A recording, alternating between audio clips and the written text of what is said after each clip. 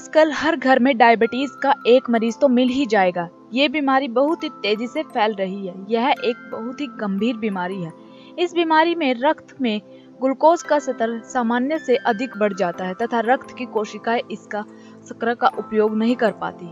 यदि यह ग्लूकोज को बढ़ा हुआ लेवल खून में लगातार बना रहे तो शरीर के अंग प्रतिरंग को नुकसान पहुंचाना शुरू कर देता है। वैसे आपको बता देती हूँ कि ये बीमारी खुद की गलतियों की वजह से फैलती है। खान पान व लाइफस्टाइल की गलत आदत जैसे मधुर एवं भारी भोजन का अधिक सेवन करना। चाय, दूध आदि में चीनी का ज़्यादा सेवन करना। कोल्ड ड्रिंक एवं अन्य सॉफ्ट ड्रिंक अधिक पीना। शारीरिक परिश्रम न करना। मोटापा, तनाव धूमपान तंबाकू आदि डायबिटीज़ के प्रमुख कारण होते हैं। अगर हम इन सब चीज़ों को थोड़ा भी ध्यान रखें तो हम इस खतरनाक बीमारी से बच सकते हैं। और बहुत बार तो ये होता है कि लोगों को देर से पता चलता है कि उन्हें डायबिटीज़ जैसी बीमारी है। तो आपको डायबिटीज़ के कुछ लक्षण बता देती हूँ, जिससे ये पता चल जाता है कि डायबिटीज़ की शिकायत है। बार बार पेशाब लगना, प्यास ज़्यादा लगना, भूख ज़्यादा लगना, बिना काम करे भी थकान होना, शरीर में कहीं घाव होने पर जल्दी ठीक ना होना तथा त्वचा को बार बार इन्फेक्शन होना, ये सब डायबिटीज़ के लक्षण हैं।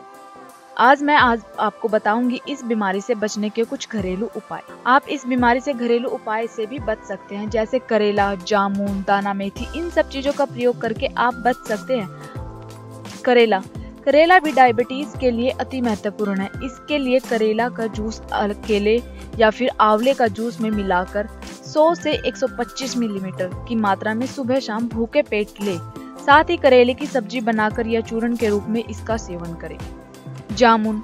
जामुन का फल खाने में जितना स्वादिष्ट और रुचिकार होता है, उतना ही शुगर की तकलीफ़ में लाभदायक होता है। इसके लिए जामुन के सीज़न से जामुन के फल खाए जा सकते हैं, तथा सीज़न ना होने पर भी जामुन की गुठली का चूर्ण सुबह शाम भूखे पेट खाने चाहिए।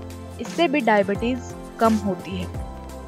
दाना मेथी। दाना मेथी मधुमेह में बहुत उपयोगी है। इसके लिए एक या दो चम्मच दाना मेथी को एक गिलास पानी में रात में भिगो देते हैं। सुबह मेथी को चबा चबा कर खा लेते हैं।